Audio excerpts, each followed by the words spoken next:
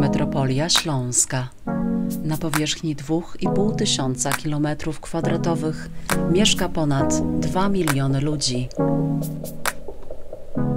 To właśnie dla nich tutaj jesteśmy, aby przynieść nadzieję, wiarę, rozprzestrzeniać miłość do Zbawiciela, który ofiarował swoje życie za Ciebie i za mnie. Nie ma większej miłości od tej, gdy ktoś życie swoje oddaje za przyjaciół swoich. Honorujemy Go, uwielbiamy i pragniemy, by każda osoba mogła cieszyć się nowym życiem w Jezusie Chrystusie. Relacje są dla nas ważne, dlatego w każdą niedzielę przed oraz po nabożeństwie jesteśmy dla Ciebie, aby z Tobą porozmawiać i pomodlić się. Kościół to nie budynek, a ludzie wspólnie budujący społeczność, której głową jest Jezus Chrystus. Wierzymy, że Pismo Święte jest Słowem Bożym, nieomylnym i natchnionym przez Ducha Świętego. Wierzymy w Boga w Trójcy Świętej, jedynego, w osobach Ojca, Syna i Ducha Świętego. Wierzymy w pojednanie z Bogiem przez opamiętanie i wiarę w Ewangelię. Wierzymy w chrzest Duchem Świętym, przeżywanie pełni Ducha i Jego darów. Wierzymy w uzdrowienie chorych jako znak łaski i mocy Bożej. Wierzymy w zmartwychwstanie i życie wieczne. Jak serce pompuje krew do całego organizmu, tak naszym pragnieniem jest rozprzestrzeniać wiarę i nadzieję w metropolii śląskiej. Jesteśmy Kościołem, jesteśmy sercem metropolii.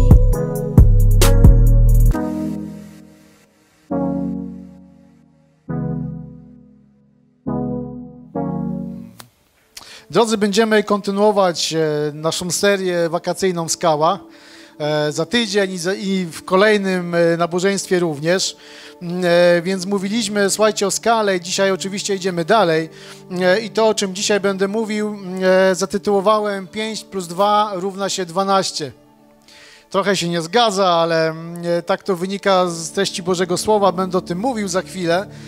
E, I taką, e, taką myśl, która mi, którą chcę powiedzieć, właściwie nie myśl, ale, ale tekst Pisma Świętego, który chcę powiedzieć zanim, zanim przejdziemy do 5 plus 2 równa się 12, e, to jest tekst Psalmu 127, pierwszego wersetu. Jest bardzo piękna myśl, która czytamy, jeżeli Pan domu nie zbuduje, na próżno trudzą się ci, którzy go wznoszą. Toż mówimy o budowaniu na skalę i e, kiedy sobie czytałem ten werset, e, to wiem, że czasem go może błędnie interpretujemy, bo mówimy, no jeśli Bóg czegoś nie zrobi, no to już e, nie ma szans, jeśli Bóg czegoś nie, nie zbuduje, nie zbuduje domu, troszeczkę oddając e, pałeczkę całkowicie e, Bogu, żeby On coś zrobił. I rzeczywiście Pan musi pobłogosławić pewne rzeczy, aby, aby mogły być zbudowane trwale, Nie, ale szukałem e, różnych odnośników do tego tekstu i kontekst drodzy jest taki, że jeżeli Pan nie zbuduje, czy jeżeli, jeżeli my jako ludzie nie wpuścimy Boga do naszego życia, w każdą dziedzinę naszego życia, to Pan nie może nic zbudować. Więc wtedy On tego nie zbuduje. Więc kochani, jeśli Pan nie zbuduje domu, na próżno się trudzą ci, którzy go wznoszą, na pewno nie będzie zbudowany na skalę, o czym mówiliśmy w zeszłym tygodniu. I drodzy, 5 plus 2 równa się 12, czyli 5 chlebów, dwie ryby i 12 koszy, które pozostały. E, powiesz, znakomita historia, bardzo dobra e, i chciałem, abyśmy ją przeczytali i przez kilkanaście najbliższych minut e, naszego nabożeństwa, tego kazania zastanowili się nad tym słowem, e, co ono, co ono do nas mówi, co mówi do człowieka, co mówi do Kościoła. Jak możemy właśnie ten, ten tekst Bożego Słowa realizować właśnie w tym kontekście, jeśli Pan nie zbuduje domu, na próżno trudzą się ci, którzy go wznoszą. E, I historia nakarmienia pięciu tysięcy ludzi. I Ewangelia Mateusza, 14 rozdział, od 13 wersetu. Zachęcam do otworzenia sobie, gdyż nie wszystkie wersety będą od razu wyświetlone. Więc czytamy. Po usłyszeniu tej wiadomości Jezus wsiadł do łodzi i samotnie odpłynął stamtąd w ustronne miejsce. Ludzie jednak dowiedzieli się o tym i całe ich rzesze ruszyły za nim, pieszo z okolicznych miast. Gdy więc Jezus dopłynął na miejsce, zobaczył tłum zgromadzonych. Zdjęła go litość nad nimi. Uzdrowił wśród nich ludzi chorych. Późnym popołudniem natomiast uczniowie podeszli do niego z taką radą. Miejsce tu, od, tu odludne i robi się późno.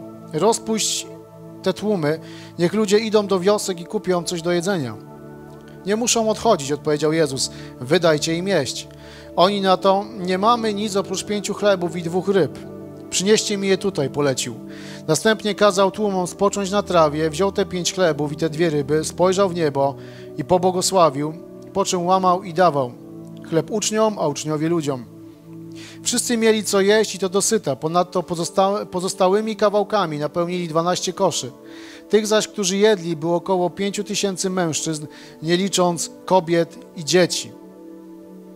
Możemy powiedzieć, to jest dobra historia. Pan Jezus nakarmił ludzi. E, dobra historia, mm, nie było co jeść i Pan Jezus im to zorganizował. Pan Jezus zorganizował jedzenie, nakarmił ludzi. Co za wspaniała historia. No tak, tak, tak rzeczywiście było. Natomiast chciałbym dzisiaj troszeczkę głębiej w ten, ten tekst wejść i pokazać, że mm, niekoniecznie sam Pan Jezus to zrobił. Dlatego też czytałem Psalm 127, że nadaremno trudzą się ci, którzy sam, sami budują dom. I słuchajcie, mm, e, piękna historia, cudna karmienia wielotysięcznego tłumu, pięciu tysięcy, pięć tysięcy mężczyzn, e, czyli tych ludzi mogło być kilkanaście tysięcy. Zakładając, że e, każdy z mężczyzn wziął może jedno swoje dziecko, to już było ich 10 tysięcy. E, może co drugi, co trzeci wziął łaskawie swoją żonę i, i poszli tam razem. Mówię łaskawie, dlatego że w tamtych czasach to tak niekoniecznie mogło być, że kobieta mogła sobie pójść, e, bo panowie chodzili słuchać, jak kobiety robiły jedzenie na przykład. Tak sobie to wyobrażam. Ale myślę, że ten tłum był kilkunastotysięczny. Więc e, e, cud nakarmienia wielotysięcznego tłumu dwoma, dwoma rybami, pięcioma chlebami jest opisane w każdej Ewangelii. Co więcej, podobna historia jest kilka rozdziałów dalej, gdzie czytamy, że Jezus nakarmił 4 tysiące ludzi. E, podobna była, była sytuacja. I słuchajcie, jeśli myślimy, jeśli czytamy tę historię cudu rozmnożenia jedzenia, nakarmienia ogromnego tłumu niewielką ilością jedzenia, na co ta historia wskazuje? Po pierwsze na to, że Jezus troszczy się zarówno o ciało, jak i duszę człowieka. Jezus troszczy się o Twoją duszę, o moją duszę, chce, aby każdy człowiek był zbawiony, aby był z Nim pojednany. Ale nie tylko, bo także chce, abyś był najedzony. Czyli także troszczy się o, o Twoje ciało. Jezus umarł na krzyżu, zmartwychwstał dla naszego zbawienia, ale troszczy się także o nasze życie. Jest zainteresowany Twoim, moim zbawieniem, ale całym naszym życiem.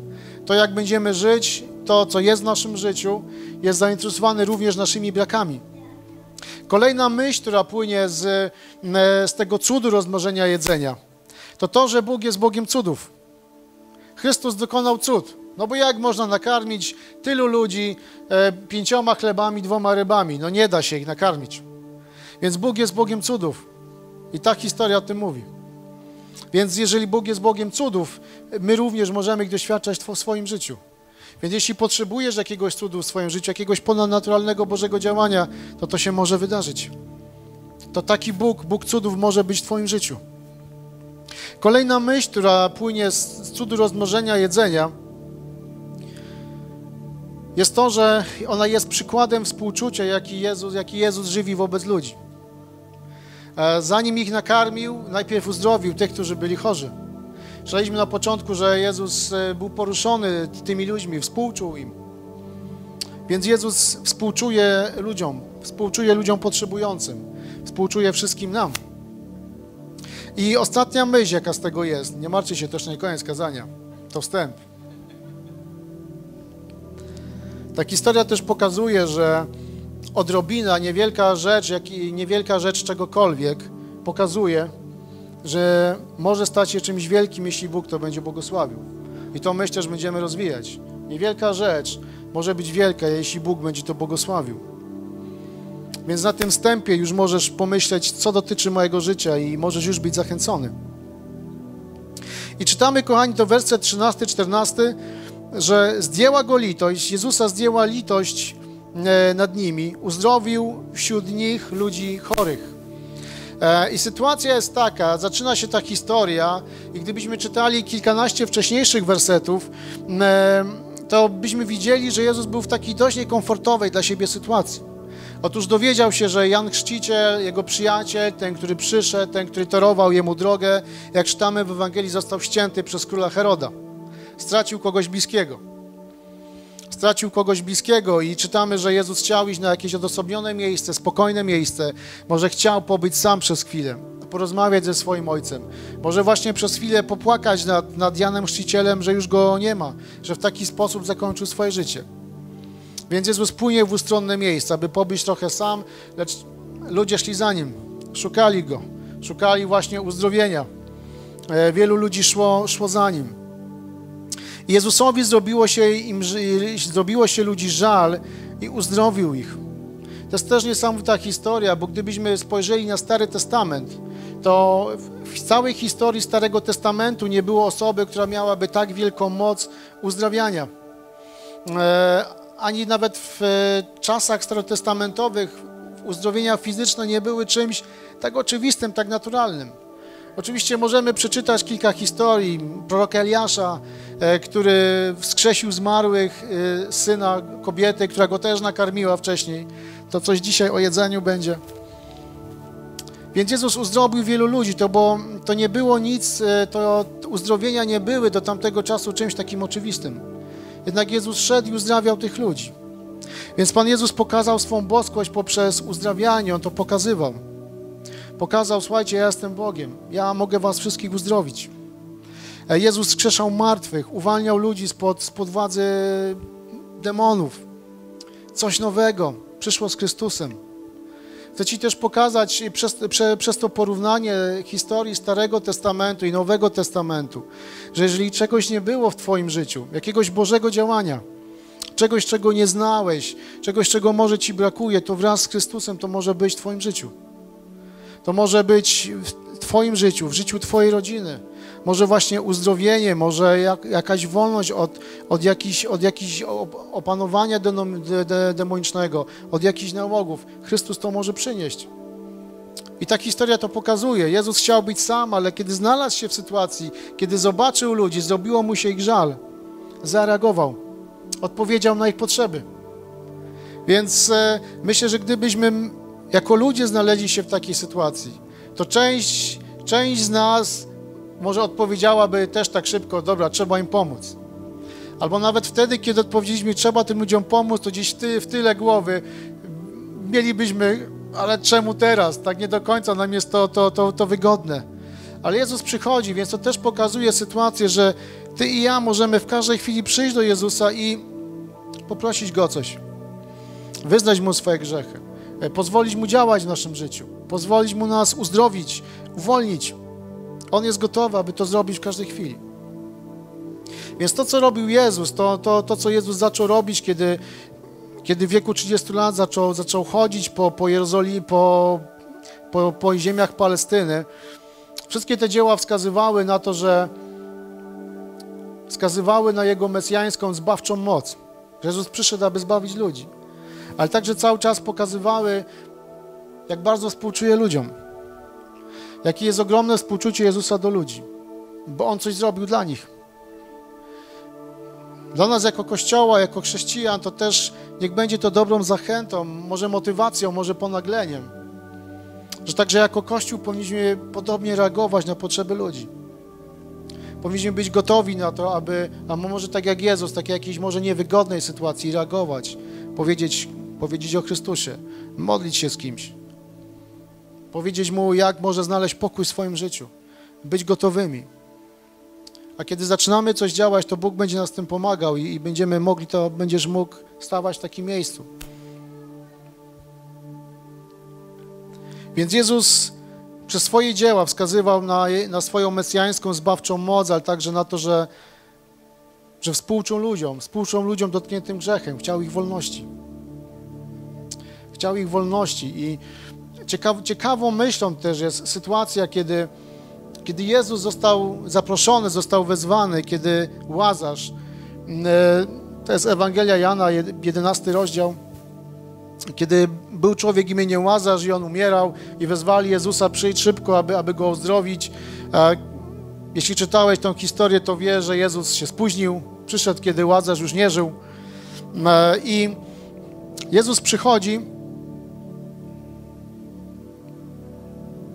Kiedy Jezus przyszedł, Łazarz już, już nie żył. Łazarz już nie żył i w Ewangelii Jana 11 rozdziale 35 wersecie jest, jest tekst, który mówi, że Jezus zapłakał. Jezus zapłakał nad Łazarzem. I tu jest też bardzo ciekawa myśl tym, kochani, że to greckie słowo, które określało, że Jezus zapłakał, oznaczało cichy płacz. Taki można powiedzieć szlok, takie westchnienie. Właśnie w odróżnieniu od płaczu ludzi, którzy płakali, od żałobników, którzy, można powiedzieć, zawodzili, e, bo taki też był zwyczaj, zawodzili nad, nad, nad śmiercią Łazarza. Więc Jezus, e, więc te łzy Jezusa nie wyrażały smutku po stracie przyjaciela, bo przecież Jezus przyszedł, aby go wskrzesić zmarłych. I tak też zrobił. Ale, ale łzy Jezusa były, były przejawem ubolewania nad upadłym światem, spętanym grzechom, grzechem i śmiercią, spętanym różnymi problemami. To jest ta, ta, ta, takie łzy Jezusa, który patrzy i w jakiś sposób wzdycha nad życiem każdego z nas, nad, nad życiem ludzi. Więc Jezus współczuł i współczuje ludziom, którzy przyszli do Niego z potrzebami. Zobaczcie też, Jezus nie uzdrowił tych, którzy do Niego nie przyszli. Nie uzdrowił gdzieś na odległość, chyba że mamy oczywiście w Ewangelii sytuację, kiedy ktoś przyszedł do Jezusa i powiedział, mój syn jest chory, wtedy Jezus mówi, idź, on już jest zdrowy. Ale Jezus uzdrawia i dotyka ludzi tych, którzy, go, którzy do Niego przychodzą. Więc jeśli przyjdziesz do Jezusa, jeśli przychodzimy do Niego, on ma całkowite teraz prawo i chęć, aby, aby błogosławić Twoje życie, aby dokonywać zmiany w Twoim życiu, ale Ty i ja musimy przyjść. Musimy się zgodzić na Jego pewne warunki. O tym też będę mówił. Jezus na pewnych warunkach nakarmił tych ludzi. Więc Jezus współczuł i współczuje ludziom, którzy przychodzą do Niego ze swoimi potrzebami, przychodzą do Niego ze swoim życiem, ze swoimi sprawami. Więc Jezus zna potrzeby ludzi. Jezus odpowiada na nie. Jezus odpowiada na potrzeby ludzi, którzy, którzy za Nim idą, którzy, którzy przychodzą do Niego. I a propos, a propos cudów, zobaczcie, Jezus nie uzdrowił tych ludzi, aby, aby dokonać paru cudów, aby pokazać, o jaki ja jestem wielki. Ale zrobił to dlatego, aby ci ludzie byli wolni, aby byli zdrowi. Więc e, zrobił to, aby oddać Bogu chwałę, ale zrobił to po to, aby aby ludzie byli wolni.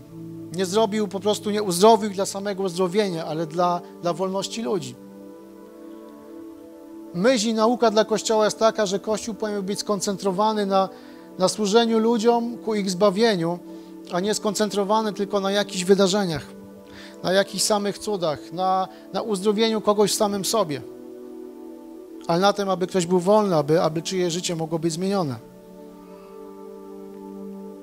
Więc Jezus jest skupiony na człowieku, na zbawieniu, zaspokojeniu potrzeb duchowych i fizycznych. Skupiony na Twoim powołaniu, na budowaniu na skalę Twojego życia. Na tym jest skupiony Jezus. Więc, kochani, w jaki sposób Jezus nakarmił ten kilkunastotysięczny głodny tłum? Jak wydarzył się cud? Jak Chrystus zorganizował całe to wydarzenie, aby ci ludzie byli nakarmieni? I w wersecie 13 czytamy to, co mówią e, uczniowie do Jezusa. Oni zauważyli już pewien problem, że jest późno, że jest mnóstwo ludzi i nie ma jedzenia i widzą, że sami tego problemu nie rozwiążą. Więc mówią do Jezusa, miejsce to odludne i robi się późno. Rozpójdźmy te tłumy. Niech ludzie idą do wiosek i kupią coś do jedzenia.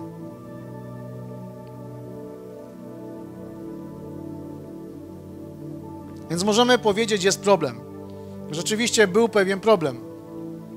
Słusznie zauważyli, że, e, że jedynie co mogą tym ludziom zapewnić, to jakiś rodzaj głodowej śmierci, bo jest późno, jest daleko, nie ma co jeść, że jedzenia mają tyle, że nawet dla nich samych nie wystarczy, więc byli na tyle roztropni, że zauważyli, że jakoś ten problem trzeba rozwiązać. No rozwiązanie mieli pod ręką. Przecież był Pan Jezus. On mógł to zorganizować. Więc, e, więc mówią do Jezusa, niech idą sobie coś kupić, e, wyślij ich i już po problemie. Oni sobie poradzą. Więc, e, więc wpadli na pomysł, aby wysłać ludzi, aby pozbyć się tego problemu. Nie byłoby tych ludzi, nie byłoby problemu. Zostali uzdrowieni wcześniej? Zostali. Kto skorzystał, to skorzystał, reszta to już nie, nie, nie nasza rola. Więc postanowili pozbyć się, się problemu. E, powiedzieli, nie mamy też już czasu. Powiedzieli, mówili do Jezusa, jest już późno, więc czas się kończy. Więc dzisiaj moglibyśmy powiedzieć, nie mamy już na coś czasu. Nie mamy czasu, aby coś zrobić. Nie mamy czasu, aby poświęcić się czemuś, poświęcić się dla kogoś. Nie mamy pieniędzy. Oni nie mieli też pieniędzy, aby pójść gdziekolwiek coś kupić, a już na pewno nie dla tych wszystkich ludzi. Myślę, że nie mieli też chęci brać odpowiedzialności za to, co się wydarzy. E, mogli próbować nakarmić ten tłum e, tym, co mieli, ale myślę, że nie chcieli brać odpowiedzialności za, za rzeczy wręcz niemożliwe. Myślę, że w ich głowach też kiełkowało, nie ktoś to zrobi za nas. Nie ktoś to zrobi za nas, czy nie oni sami sobie to zorganizują. Przyszli tu, to jest ich problem, nie wzięli ze sobą kanapek, e, nie wzięli ze sobą herbaty do termosów, to niech sobie teraz radzą. Więc oni mieli postawę wycofania, wycofali się. Odsyłamy ich, było fajnie, jak się najedzą, my to spotkamy się z nimi ponownie. Więc znaleźli sposób na to e, i mówią, Jezu, powiedz im, aby sobie poszli. Mieli, I myślę, że my często jako ludzie mamy podobne rozwiązania. Z jednej strony widzieliśmy już wcześniej Jezusa w działaniu, w tym, co zrobił dla, dla naszego życia, w tym, że jest Bogiem cudów, w tym, że może uzdrawiać, ale bardzo często w takich y, kluczowych, takich może krytycznych sytuacjach podpowiadamy Bogu, co powinien zrobić. Mam już jakieś swoje rozwiązanie, jakąś swoją ucieczkę i oni mieli podobnie. Dobrze oczywiście, że zwrócili się do Jezusa. Można powiedzieć, no tak, no powiedzieli do Jezusa, zwrócili się do Jezusa, Jezu, Ty ich odeślij. E, ty ich odeślij, zobaczcie, nawet sami tego nie chcieli zrobić, ale mówią, Jezu, dzisiaj może byśmy to mogli tak zobrazować, że pomodlilibyśmy się i po modlitwie już mielibyśmy rozwiązanie, no to teraz Jezu, odeślij ich, niech idą. Niech idą. E, zwrócili się i pewnie myśleli, że tak się stanie, jednak była całkiem inna reakcja Jezusa. Myślę, że jej się nie spodziewali. Jak mogli się spodziewać słów wydajcie im jeść, skoro nie mieli jedzenia? Dziwna, dziwna odpowiedź Jezusa. Wydajcie im jeść. No tak, my dzisiaj wiemy, że nie, bo my tą historię czytaliśmy już z kilkanaście razy. Wiemy, jak ona się skończyła.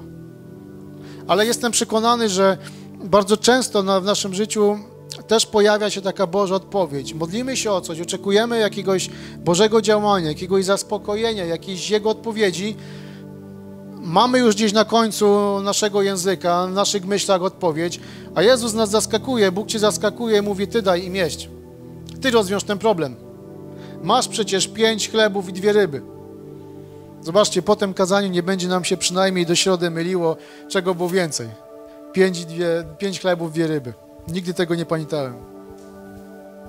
Więc Jezus mówi, dajcie im jeść. Dajcie im jeść. Myślę, że uczniowie raczej chętnie skorzystaliby z tego, że Jezus by ich nakarmił. Raczej chętnie by skorzystali z tej sytuacji. Myślę, że chętnie popatrzyliby, jak Jezus karmi tych ludzi. I może nawet oceniliby, czy dobrze to zrobił.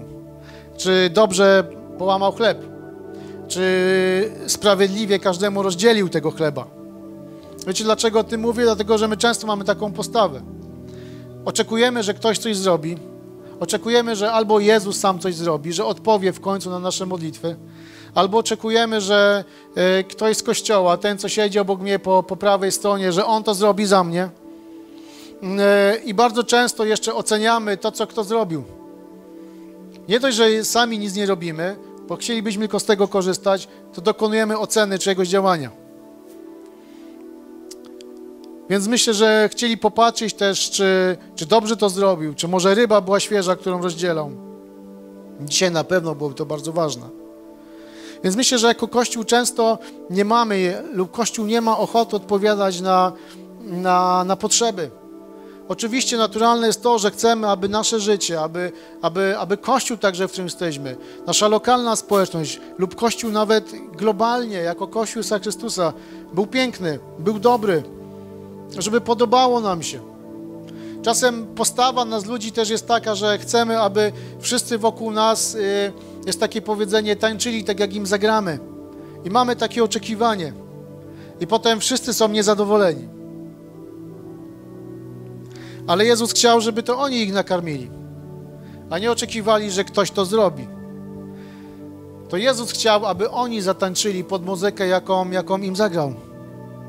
I to wtedy jest najlepsze, bo Chrystus da Ci, podłoży Ci taką muzykę, po którą naprawdę będziesz mógł właściwie postępować i dokonywać właściwych rzeczy. Bardzo często chcemy, również jeśli mówimy o cudach, bo cała ta historia to jest jeden wielki cud. Pierw uzdrowienie chorych, potem nakarmienie wielotysięcznego tłumu. To cuda.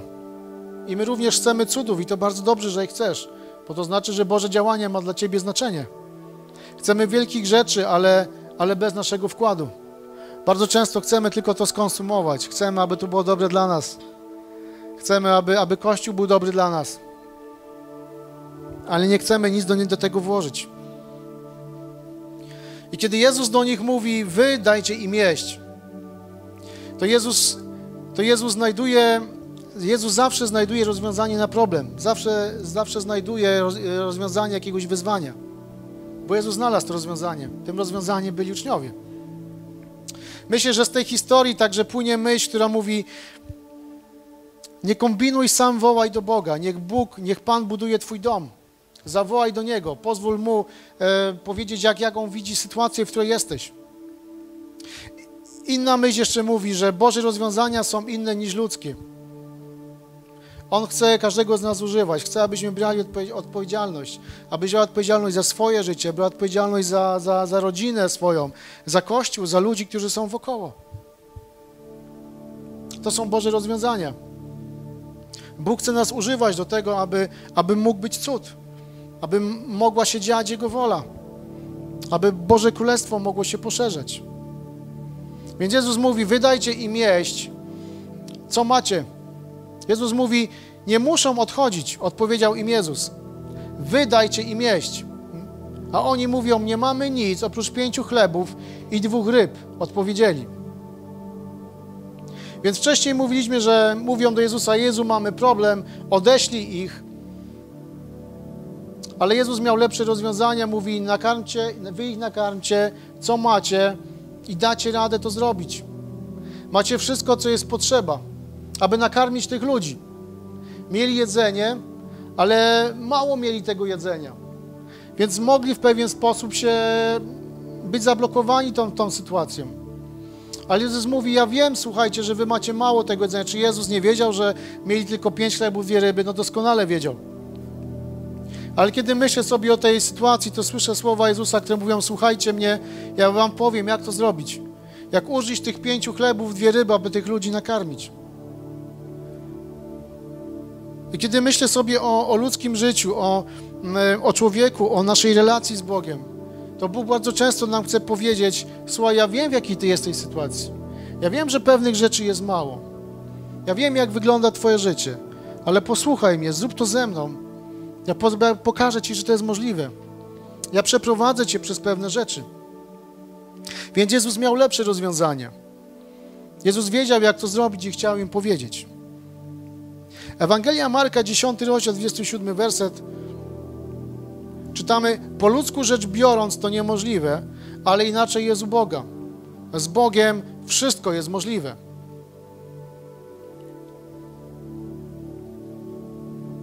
Z Bogiem wszystko jest możliwe. Więc Bóg przeprowadzi e, Cię przez każdą kryzysową sytuację. Bóg jest wierny i nie zapomina o, o swoich dzieciach. Jest dobrym Bogiem. Bóg honoruje naszą wierność, nasze działanie. To jest to, o czym mówiliśmy tydzień temu. Bóg będzie honorował Twoje dobre działanie. Bóg o niczym nie zapomni. Co więcej, Bóg zabiera Ciebie, zabiera człowieka do miejsca, gdzie niemożliwe staje się możliwymi rzeczami. Bóg Cię tam zabiera, Bóg chce, abyś tego doświadczył. Więc, kochani, jak możemy doświadczyć Bożego działania? Jak możemy mówić i mieć to przeczucie, mieć, mieć to doświadczenie, że ja odczuwam Boga w moim życiu, że Boży cud wydarzył się w moim życiu, że byłem w trudnej sytuacji, Bóg zadziałał. Bóg z niczego zrobił coś. Jak możemy to zrobić? I myślę, że Jezus im to doskonale pokazał w tej historii. Pierwsza rzecz to powiedział im: użyj tego, co masz. Więc kazał im użyć pięć chlebów i dwie ryby, aby nakarmić kilkanaście tysięcy ludzi. Nie czekaj na lepsze czasy. Nie czekaj na kolejne spotkanie pięciu tysięcy mężczyzn, aby przygotować sobie więcej jedzenia. Nie czekaj na lepszy moment, bo on może nigdy nie nadejść. Jeżeli potrzeba zmienić jakieś, jakieś plany w swoim życiu, może dostosować je do, do Bożej woli w Twoim życiu, to zrób to. Oni musieli zmienić też swoje myślenie. Musieli zmienić swoje plany. Oni mieli plan. Odeślij ich. Gdzieś sobie kupią. Czasem Bóg chce, abyśmy zmienili nasze plany. Bo idealnym przykładem jest, kiedy młodzi ludzie planują studia i nagle wybierają coś innego, bo czują, że Bóg prowadzi ich w inne miejsce. To bądź gotowy zmienić swoje plany. Kiedy Bóg mówi do ciebie, kiedy Bóg pokazuje ci nie tą drogą, zmień plany, użyj tego, co masz. Nie wycofuj się i nie czekaj na gotowe. Nigdy się nie wycofuj, bo wtedy już na pewno nic się nie wydarzy, bo lepszy moment może nie nadejść. Więc Jezus polecił uczniom posadać ludzi w grupy. Nazwijmy to dzisiaj dystansem społecznym. Kazał ich posadzać. Może były takie koła na trawniku narysowane. E, gdzieś na jakimś zdjęciu widziałem chyba w Central Parku e, jakieś zdjęcie widziałem w internecie. Rzeczywiście były koła namalowane, ludzie siedzieli w tych kółkach. I był dystans społeczny, więc może, może był jakiś dystans społeczny. Możemy sobie trochę pożartować z trudnych sytuacji wokół nas. Więc Jezus polecił posadzać ludzi w grupy. I kiedy to zrobili, wziął chleb i ryby, wziął to, co mieli i błogosławił to, co mieli.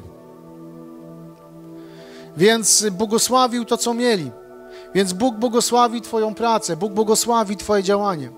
Bóg będzie błogosławił to, co marzysz i będziesz używał zgodnie z Jego wolą. Bóg błogosławi to, co poświęcasz dla Niego. Bóg błogosławi Twoje pieniądze, kiedy je poświęcasz dla Niego. Bóg błogosławi Twoją dziesięcinę. Bóg błogosławi czas, który poświęcasz dla Niego. Czas, kiedy się modlisz, czas, kiedy czytasz Pismo Święte. Czas, kiedy jesteś w kościele, a mógłbyś, nie wiem, jeździć na rowerze albo na nartach wodnych. Bóg to błogosławi. Bóg błogosławi, jeśli rezygnujesz z czegoś na Jego rzecz. Jeśli może rezygnujesz y, z wymarzonej pracy, a wiesz, że ta praca pozbawi cię kontaktu z Kościołem, to Bóg będzie to błogosławił, jeśli ty z tego zrezygnujesz. Naprawdę. Jeśli chcesz służyć Bogu, zostaw wszystko, a On to będzie błogosławił. On będzie błogosławił Twoje życie. Szczególnie te słowa kieruję do, do osób, które czują jakieś takie ponaglenie albo takie, takie pragnienie do, do takiej pełnotatowej służby, do poświęcenia swojego życia Bogu. Nie wiem, może ktoś taki jest na tej sali dzisiaj, w kościele, może ktoś taki będzie słuchał tego kazania. To chcę Cię zachęcić, był odważny w tym, aby, aby poświęcić Bogu swoje życie, a On to będzie błogosławił. A On to będzie błogosławił.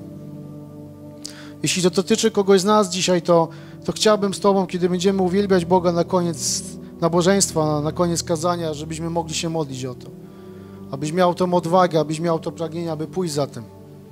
Aby nie czekać na lepszy moment aby nie oglądać się na innych. Więc uczniowie mówią, nie mamy nic oprócz pięciu chlebów i dwóch ryb. Więc jak możemy tych ludzi tym nakarmić? I ta historia pokazuje, że jednak nakarmili tymi pięcioma chlebami, dwoma rybami ten, ten, ten, ten tłum. Więc doceń, co masz. Szanuj, co masz. Dziękuj Bogu za to, co masz. Nie umniejszaj sobie, jeśli jesteś mały. Nie mam na myśli wzrostu, ale jeśli e, może inni ludzie oceniają cię, że jesteś małego znaczenia, może ty tak o sobie myślisz. Może rzeczywiście dzisiaj tak jest, że, że, że twój zasięg, twoje możliwości są małe, ale nie umniejszaj sobie, bo ta niewielka ilość jedzenia też była mała. Jednak tą małą ilością jedzenia został dokonany wielki cud. Zobaczcie, tydzień temu chyba też wspominałem o Dawidzie. Dawid i Goliat. Kiedy Dawid przyszedł e, pokonać Goliata, kiedy przyszedł z nim walczyć, też wszyscy powiedzieli, że jesteś za mały, że ty sobie z tym nie poradzisz. Nawet jego bracia go przeganiali z pola bitwy. Jednak do dzisiaj, myślę, przynajmniej w tym tak zwanym chrześcijańskim świecie, funkcjonuje pojęcie Dawid i Goliat. Czytasz jakiś artykuł o czymś, gdzie jest coś małego i dużego, to często możesz czytać Dawid i Goliat, starcie Dawida z Goliatem. To funkcjonuje do dzisiaj, po tylu tysiącach lat. Więc do dzisiaj ludzie wiedzą, że mały pokonał dużego. Więc nie umniejszaj sobie. Więc nie mów, że to jest niemożliwe, że coś jest niemożliwe w Twoim życiu, że coś nie ma szans wydarzyć się w Twoim życiu. Również nie umniejszaj innym. Nie mów o innych, że ktoś się do czegoś nie nadaje, albo nie drwij sobie z kogoś. Oczywiście może być sytuacja, że ktoś po prostu do rzeczy A się nie nadaje, ale będzie miał powołanie do rzeczy B, ale mam na myśli tutaj kogoś jako osobę. Nie umniejszaj innym. Bo jeśli będzie budować na, na skalę, będzie budować mądrze swoje życie, to on cię kiedyś zaskoczy. To będziesz zaskoczony. Więc nie umniejszaj. Więc drodzy, niech to polecenie Jezusa, niech, e, niech, niech ten komunikat, niech e, to, co powiedział Jezus do, do uczniów, wydajcie im jeść, niech będzie dla nas zachętą, niech będzie dla nas może pewnego rodzaju ponagleniem, jeżeli ociągasz się w swoim życiu. Może ociągasz się w swoim chrześcijańskim życiu z czymś. Może czekasz na lepszą chwilę. Może czekasz, aż będziesz miał 10 chlebów, a nie 5. I wtedy coś zrobię. To tak jak często ludzie mówią, jeśli będę miał, to dam. Zapewniam Cię, jeśli będziesz miał to, o czym mówisz, to też nie dasz. Bo też Biblia mówi, kto jest wierny w małym, będzie wierny w dużym i na odwrót, kto niewierny w małym, nie będzie wierny w dużym. Więc niech słowa Jezusa dajcie im jeść. Będą dla Ciebie zachętą, ponagleniem, zapewnieniem również, że wszystko jest możliwe. I koniec tego tekstu. Następnie kazał tłumom spocząć na, na, na trawie, wziął te pięć chlebów i te dwie ryby, spojrzał w niebo, pobłogosławił, po czym łamał i podawał chleb uczniom, a uczniowie ludziom. Wszyscy mieli co jeść i to dosyta. Ponadto pozostałymi kawałkami napełnili 12 koszy. Więc, kochani, w końcu mamy upragniony cud. Nakarmienie tego tłumu. Doczekaliśmy się. Kochani, i dobrze, że był cud. E, chcemy cudów, chcemy ich doświadczać. Bóg jest Bogiem cudów, więc On chce, aby, aby cuda działy się w Twoim życiu, aby cuda działy się w Twojej rodzinie, jeśli są tam potrzebne, aby cuda działy się w Kościele, aby Jego, jego działanie, Jego obecność nie była niczym skrępowana, a już na pewno nie, nie naszą jakąś opornością. Więc chcemy doświadczać Bożej mocy. Chcemy doświadczać, ale te, te, cuda Boże działanie pojawia się wtedy, kiedy, kiedy my coś robimy. Cud nakarmienia pojawił się wtedy, kiedy uczniowie posłuchali Jezusa, jak mają to zrobić. Kiedy posadzali tych ludzi. Kiedy dali jedzenie Jezusowi, kiedy On je pobłogosławił, kiedy wzięli w dalszym ciągu, wzięli te pięć, te pięć chlebów, dwie ryby i dawali ludziom. Dalej musieli mu ufać. Zwróćmy też uwagę, że kiedy Jezus je pobłogosławił, tam nigdzie nie pisze, że już mieli mnóstwo jedzenia. On po prostu dał tę niewielką ilość jedzenia ludziom i mówi, rozdzielajcie im. Więc oni patrzyli, jak ten cud się dzieje. Ciągle było mało w ręce, a cud się wydarzał. A cud się wydarzał. Więc było działanie. Już nie, nie myśleli, jak to teraz mamy zrobić z tą niewielką ilością jedzenia. Po prostu go rozdzielali a cud się dział. Boże działanie się wypełniało. Więc aby było, abyśmy mogli doświadczać Bożych cudów, Bożego działania, to Ty potrzebujesz działać. To Ty potrzebujesz działań popartych wiarą, popartych posłuszeństwem, nie poddawaniem wątpliwość. Po prostu jeśli Jezus coś daje Twojego życia, to bierz to i rób, zbliżaj się do Niego. Pamiętaj, że Bóg błogosławi Twoje działanie. Bóg błogosławi Twoje poświęcenie i Twoje posłuszeństwo Jego Słowu. Bóg pomnaża Twój zasiew. Bóg używa ludzi. Bóg używa ludzi. Więc jeśli chcemy doświadczać Bożego działania, Jego cudów, jeśli chcesz być używanym przez Boga, potrzebujemy budować nasze życie na mocnym fundamencie, na skalę. Musimy współpracować z Bogiem na Jego warunkach. Jezus mówi: posadźcie ludzi, rozdawajcie. Więc kiedy przychodzi moment, kiedy Bóg coś do mnie mówi, to ja muszę zacząć to robić, żeby mogło być Jego działanie. Często ludzie mówią: Nie ma Bożego działania w moim życiu, ale nie robimy tego, co Bóg do nas mówi. To nie może być. Bo Bóg pracuje na swoich warunkach i chce, abyśmy na Jego warunkach pracowali. Oczekujemy Bożego działania, a bardzo często chcemy dopasować do tego, co my chcemy. Często modlimy się o coś, co my chcemy. I próbujemy na Bogu wymusić, aby była nasza wola, a modlimy się do Niego. Więc działaj na, na, jego, na jego zasadach. Kochani, bardzo też ważna myśl, którą już też powiedziałem na początku, ale chcę ją jeszcze raz podkreślić. Cuda nie są celem samym w sobie. Boże, Boże cuda są odpowiedzią Boga na potrzeby ludzi, dla oddania Jego, Jego, Jemu chwały. Więc jeśli myślimy o cudach, to, to koncentrujemy się na Bogu, na relacji z Nim, koncentruj się na tym, na potrzebach innych ludzi, na tym, co Jezus powiedział, idźcie i czyńcie uczniami wszystkie narody i na pewno jakieś cuda będą miały miejsce. Będziesz je oglądał. Pamiętaj, że największym cudem jest zbawienie człowieka, jest nowe życie w Jezusie Chrystusie. I to jest największe. Powiem wam nawet, że mógłbym nie doświadczyć i nie widzieć żadnych innych cudów, a widzieć tylko każdego dnia, jak ludzie się nawracają. Naprawdę, zapewniam was, to by nam, bardzo by nas to satysfakcjonowało, nazwijmy, jeśli tak możemy powiedzieć. Więc koncentruj się na budowaniu na skalę na Chrystusie. Skoncentruj swoje życie na właściwych postawach, na szukanie relacji z Bogiem, na dbanie o swoje święte życie, na odnawianie relacji z Jezusem, na służenie Bogu z oddaniem, na poświęceniu się dla ludzi, na służeniu Jego Kościołowi. Wtedy będą Boże cuda, wtedy Boże rzeczy będą się działy.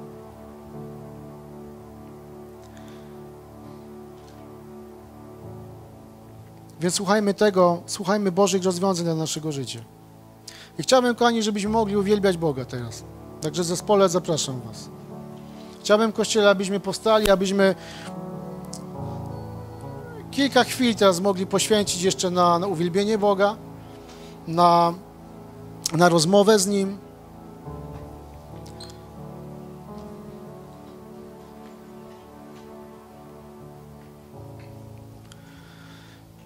Chcę Was zachęcić, chcę Was prosić, kiedy zaczniemy uwielbiać Boga, kiedy będziemy śpiewać, to pierwsze wezwanie, które zrobiłem w trakcie już kazania, jeśli w Twoim sercu, w Twoim życiu jest coś szczególnego, co Bóg wkłada, że, że chcesz poświęcić Mu swoje życie, to chcę Cię zachęcić, abyś przyszedł do przodu, abyśmy mogli się z Tobą modlić.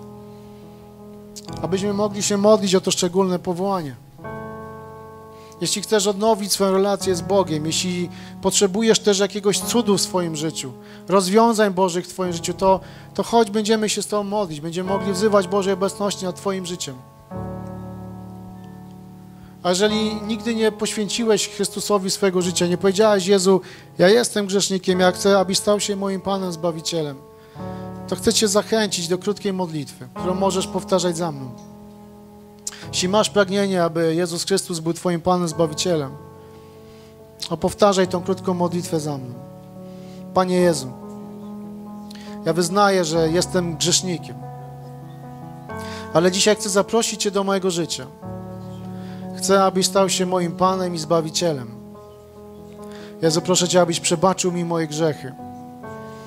Przyjmuję Twoją miłość, przyjmuję Twoje przebaczenie, przyjmuję Twoją łaskę. Od dzisiaj chcę, abyś Ty był numerem jeden w moim życiu. Jezus, zapraszam Cię. Dziękuję Ci za Twoją ofiarę i miłość. Amen. Amen.